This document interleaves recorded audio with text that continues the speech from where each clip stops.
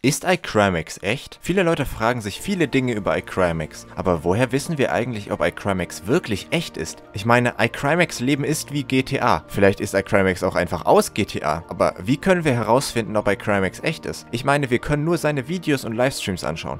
Woran kann man jetzt aber erkennen, ob er echt ist? Klar, er ist da und er macht Videos, aber wir brauchen den ultimativen Beweis dafür, dass er existiert. Viele Leute haben schon iCrimex auf der Straße getroffen und mit ihm Fotos gemacht. Das heißt, wenn er nicht echt wäre, dann könnte er kein Foto mit einer echten Person machen. Außer in GTA. Aber das hat er. Also ist iCrimex echt. Denkt ihr, es wäre toll, in GTA zu leben? Abonniert und jetzt tschüss.